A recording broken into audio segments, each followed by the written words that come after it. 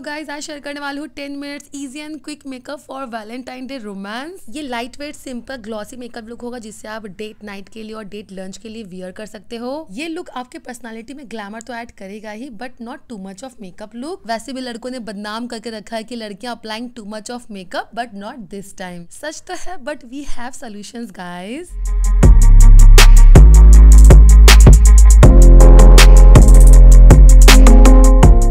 क्योंकि आज हम ग्लोइंग एंड ग्लॉसी मेकअप कर रहे हैं तो स्टार्ट कर रही हूँ skin care with glowing serum of Dottin की क्लीन फेस पर इसे अप्लाई करना होता है three to four drops enough है फुल फेस के लिए. इंस्टेंट ग्लोइंग फेस चाहिए ना तो इसे आपको एक बार ज़रूर ट्राई करना चाहिए. आई वॉन्ट ग्लोइंग मॉइस्चराइजर तो मैं यहाँ गुड वाइफ्स का उपटन डे क्रीम यूज़ कर रही हूँ। ये बहुत लाइट वेट है और एस पी एफ़ फिफ्टी के साथ आपको मिलता है। Always avoid to applying too much of moisturiser guys ये आपके मेकअप के बेस को ना बहुत वीक कर देता है। इससे आपका मेकअप रिमूव हो जाता है। For long stay I wait की स्किन के अच्छे से अब्जॉर्ब हो जाए। नाइका प्रेप में प्राइमर यूज़ कर रही हूँ। ये बेस्ट है फॉर द बिगनर्स भले ही आपको अफोर्डेबल प्राइस में मिल जाता है बट इसका रिज़ल्ट लाइक का एक्सपेंसिव प्रोडक्ट जिन लोगों के फाइन लाइन्स पर मेकअप क्रीज हो जाता है ओपन पोर ज़्यादा विजिबल दिखते हैं आफ्टर मेकअप उन लोगों के लिए प्राइमर अप्लाई करना बहुत ज़रूरी हो जाता है। तो यहाँ थोड़ा सा प्राइमर अप्लाई करना है फॉर स्मूथ फिनिशिंग के लिए। नेक्स्ट मैंने लिया है MAC's strobe cream extra glowing and glossy look के लिए। बट आप किसी और ब्रांड का भी अफोर्डेबल स्ट्रोप क्रीम ट्राई कर सकते हैं। डॉटन की का बहुत अच्छा स्ट्रोप क्रीम है, जो नेचुरल ग्लो एड करता है विदाउट एनी एक्स्ट्रा शाइन तो डे टाइम पर भी अच्छा दिखता है। अच्छे ऑप्शन बता रही हूँ गाय जो आपके लिए हेल्पफुल हो, यहाँ मैं लिप मॉइस्चराइजर यूज़ कर रही हूँ before applying foundation Nykaa hydrating dew foundation use कर हूँ and you can see the quantity बहुत ही लेस रखी है मैंने।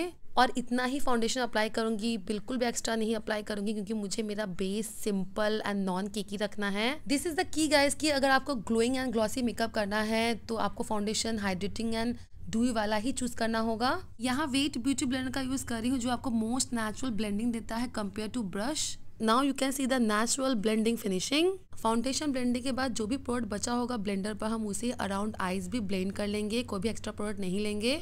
इस तरह से हम अपना पूरा फेस इवेंट टोन कर लेंगे यूजिंग फाउंडेशन गाइज़ इसे ही बोलते हैं simple and natural finishing base L A girl concealer use कर रही हूँ जो नेचुरल लुकिंग कवरेज देता है with dewy finishing important note guys अगर आप चाहते हैं कि आपका मेकअप नेचुरल दिखे ओवर ना दिखे तो ये बहुत ज़रूरी है कि आपका कंसीलर फाउंडेशन एंड कॉम्पैक्ट आपके स्किन टोन के अकॉर्डिंग हो. फेस पर कंसीलर अप्लाई करने की ये बेसिक प्लेसेस है जहाँ पर मैंने कंसीलर अप्लाई किया है, आप देख सकते हैं। Avoid too much of product and over coverage one more important note guys अगर आप चाहते हैं कि कम प्रोडक्ट में आपको ज़्यादा कवरेज मिले तो कंसीलर ब्लेंड करने के लिए आपको कंसीलर ब्रश का यूज़ करना चाहिए। PAC zero seven three concealer brush का यूज़ किया है फॉर ब्लेंडिंग आपके पास ज़रूर होना चाहिए। नेवर ड्रैग कंसीलर हल्के हाथों से टैप टैप मोशन पर ही कंसीलर को ब्लेंड करना है। For having perfect coverage as you can see guys after blending concealer ये है फुल फेस फिनिशिंग आईज इस पॉइंट पे अगर आपको लगे कहीं पर भी कवरेज की और कंसील करने की ज़रूरत है तो आप थोड़ा सा प्रोडक्ट लेके ब्लेंड कर सकते हैं. ज़रूरत पड़ सकती है गाइस किसी के एक्ने के मार्क्स होते हैं बहुत डार्क वाले, किसी के डार्क सर्कल्स होते हैं लाइक like मी एक साथ ज़्यादा प्रोडक्ट लगाने से अच्छा है कि थोड़ा थोड़ा अप्लाई करे थोड़ा थोड़ा ब्लेंड करे. फॉर बेस सेटिंग के लिए मैं यूज़ करी मामा अर्थ का इंस्टेंट ग्लो कॉम्पैक्ट ये अदर कॉम्पैक्ट की तरह मैट और ड्राई लुक नहीं देता है. You can see the finishing guys बहुत ही स्मूथ एंड नेचुरल लुक देता है एंड ये ऑल कंट्रोल है ट्वेल्व आवर्स यस अभी आप देख सकते हो, मैं पफ का यूज़ कर रही हूँ और टैप टैप करते हुए इसे अप्लाई कर रही हूँ। ये अच्छा खासा कवरेज भी देता है guys you can see the difference now you can see the finishing guys and वो बोलते हैं ना सुपर से भी ऊपर. इंपॉर्टेंट नोट गाइज़ आपके मेकअप को ग्लोइंग एंड ग्लॉसी दिखाने के लिए आपके सेटिंग स्प्रे और मेकअप फिक्सर का डूवी होना बहुत ज़रूरी है। Next dewy finishing setting spray stays up to sixteen hours as always guys makeup fixer spray skin पर जितना जल्दी ड्राई हो, उतना अच्छा। नाउ अभी आप देखो मेरा ग्लोइंग मेकअप बेस नेक्स्ट करेंगे हम अपने आईब्रोज के शेप और इसे भी बहुत नेचुरल रखेंगे। जब मेकअप फुल कवरेज हो तो वैसे आईब्रोज भी डार्क होते हैं but not for every day और रेगुलर लुक के लिए गाइस अदरवाइज़ आपके आईब्रोज लगेंगे पेंटेड और फेक स्मजिंग करते हुए बहुत कम शेड के साथ हम अपने आईब्रोज को फिल इन करेंगे like this eyebrows make huge difference guys तो अपने अकॉर्डिंग जैसे आपके चेहरे पर अच्छा लगे, वैसे ही अपने आईब्रोज को शेप दे।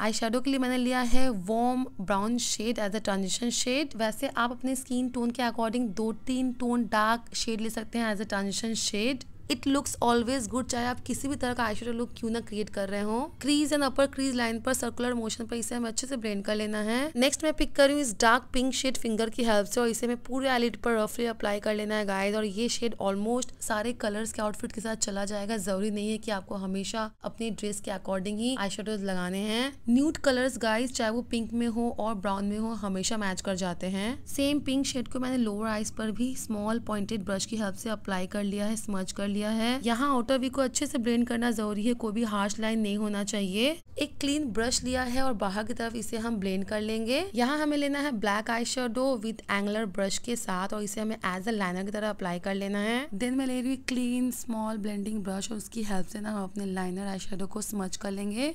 ऐसे हमें दो से तीन बार करना है eye shadow as a liner apply करना है देन ब्रश से उसे एक स्मर्च कर लेना है। इससे बहुत ही खूबसूरत स्पंजिंग लाइनर लुक आता है। देन हम लाइनर लेंगे और बहुत ही थिन विंग लाइनर अप्लाई करेंगे like this Swiss beauty mousse eye shadow पैल ले रही हूँ। उसमें से मैं शिमरी पिंक शेड को पिक कर रही हूँ स्पॉन्ज ब्रश पर। इसे अप्लाई करना है आइस के इनर कॉर्नर पर और थोड़ा सा आइस के अपर साइड पर और लोअर साइड पर भी इसे अप्लाई करेंगे। ऐसा आप किसी भी कलर के साथ कर सकते हैं। क्योंकि नो फॉल्स लैशेस लुक है तो ये बहुत ज़रूरी है कि मस्कारा अप्लाई करने के पहले आप कलर का यूज़ ज़रूर करें। यहाँ मैं Maybelline high sky mascara use कर रही हूँ, जो एक्स्ट्रा वॉल्यूम ऐड करता है आपके लैशेज़ पर, जो no false lashes makeup look के लिए परफेक्टली वर्क करता है। यहाँ मैं अप्लाई कर रही हूँ ब्लश शुगर का शेड है पिंक जब भी मैंने ये वाला ब्लश अप्लाई किया, मैंने बोला है कि बहुत ही लॉन्ग स्टे वाला ब्लश है। साथ ही साथ ये परफेक्ट मैच है for Indian skin tone people आज कोई भी कॉन्टोर और ब्रॉन्जर यूज़ नहीं किया है but still it look so nice guys light and simple makeup look के लिए you need only blush guys आज के लुक के लिए आई वॉन्ट पिंक ग्लो तो मैंने स्विस ब्यूटी के इस बेग्ड हाईलाइटर से इस पिंक शेड को लिया है। And you can see instantly गुलाबी ग्लोइंग गाल Swiss beauty baked blusher and highlighter आपको बहुत ही नेचुरल ग्लोइंग फिनिशिंग देते हैं, जैसा कि आप देख ही सकते हैं। आज के सॉफ्ट पिंक लुक के लिए मुझे न्यूड पिंक शेड चाहिए था। उसके लिए मैंने Maybelline vinyl ink liquid lipstick लिया है इन शेड कोए। बट उसके पहले स्विस ब्यूटी की ब्राउन लिप लाइनर से अपने लिप्स को डिफाइन किया है। मेबलिन का ये one of the best liquid lipstick है विद ग्लॉसी फिनिशिंग के साथ, क्योंकि ग्लॉसी मेकअप बेस के साथ लिप्स भी ग्लॉसी होना चाहिए। मिनिमम ज्वेलरी एंड हल्के फुल्के हेयर सेटिंग के साथ मैंने इस लुक को कंप्लीट किया है। आशा करती हूँ ये लुक एंड ट्यूटोरियल आपके लिए यूजफुल हो, आपको पसंद आए। सारे प्रोडक्ट के लिंक विद शेड में डिस्क्रिप्शन बॉक्स में एड कर दूँगी तो चेक ज़रूर करें। Thank you so much guys दिल से मेरे वीडियोस को देखने के लिए, पसंद करने के लिए मिलते हैं नेक्स्ट वीडियो में, तब तक के लिए टेक केयर एंड बाय